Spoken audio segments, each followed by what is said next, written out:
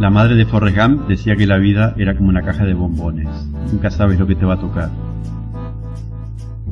En mi casa mi madre decía que cada hogar era un mundo, pero que al final todos se parecían. Era como el brócoli, que para comérselo hacía falta acompañarlo de una buena historia. El brócoli es el mundo y cada rama un pequeño mundo con su vida propia, pero a la vez cada rama es igual al brócoli total al cual dan forma. La cuestión para nosotros está en cómo hacer que las TIC formen parte de la vida de los centros y cada centro es un mundo. Así fue que comenzamos contando historias y nos fuimos internando en el corazón de los centros para trabajar y para reunir en el mismo espacio a profesionales e internos.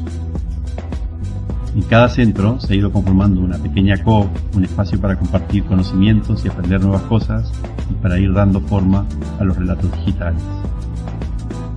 Y es así que cada centro, usando una misma metodología y aportando su manera de hacer, relatos digitales va definiendo poco a poco su propia impronta. Cada centro es un mundo y entre todos vamos conformando este brócoli que es el proyecto digital de los relatos digitales. Nuestra aportación a todo esto, además de la formación en el uso de las metodologías digitales, está en la difusión de las producciones y en facilitar el nexo entre los centros y con el exterior a través de Internet, a través de muestras, llevando las producciones directamente a los centros, dando relevancia a las cosas interesantes que están sucediendo. Vamos constatando que esta difusión y esta circulación son un incentivo y una motivación para que el uso de las TIC se vaya consolidando. Para este año hemos añadido un conjunto de acciones que servirán de estímulo al uso de las TIC en los centros penitenciarios. El proyecto Pantallas, a través del cual pretendemos que las producciones se conozcan fuera de los centros y de los ámbitos habituales. La creación de los relatos digitales vinculados a la celebración del Día Internacional de la Mujer y al Día Mundial de la Poesía. El San Jordi Digitale, que este año alcanza su quinta edición y que vincula la creación literaria y la audiovisual. los relatos digitales de Bernadar Unconte que conectan personas, voces y sentimientos en fechas tan señaladas.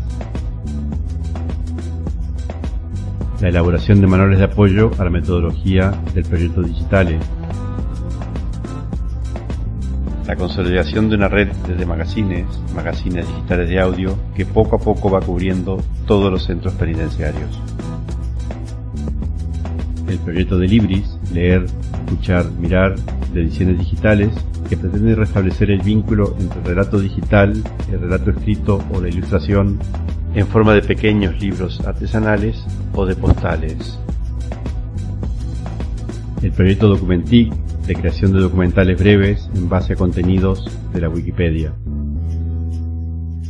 La colaboración con la Yaya.tic para introducir en el campo de las TIC de las prisiones aspectos innovadores como la robótica educativa o la programación.